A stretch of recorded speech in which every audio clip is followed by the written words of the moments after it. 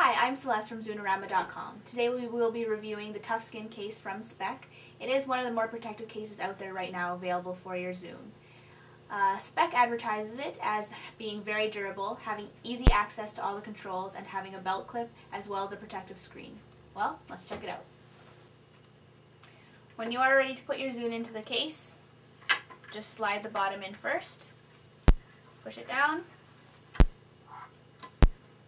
and then the top corners just stretch over top of it. And when you are putting the screen protector in, if you sort of touch both sides, you can see that one side's rid has ridges on it, and that's the one that the side that goes against the Zune. And just again, put the bottom in first, and stretch the edges over the sides, and then it just sort of secures in place like that. So now that we do have the Zune in the case, as well as the screen protector there, and it slides in there really nicely and sort of secure so you don't feel like it's going to fall out. At the top here, you'll see that there are two openings, one for the headphone jack and also for the lock switch. And on the bottom there is the opening for your sync cable. So anything you're going to need to do with your Zune, you will be able to without having to take the case off. And when I first saw the case, I thought that it looked really durable and cool, but that it was also really bulky. But when I took it out of the box and put the Zune into it, I realized that actually they did a great job of making it as small as possible with still keeping that durability and there's still the shock absorption and protecting it from scratches.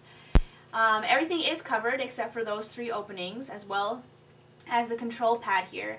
And I was really pleased to see that it still keeps how easily you can use the buttons and everything like that. You don't have to overcompensate with extra pressure no fumbling around.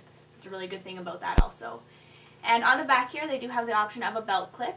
So when you're ready to use it, it just slides on really easily and locks into place. And then it kind of just swivels around so you're able to move it to the side if you need to sit down or turn it around to read it or anything.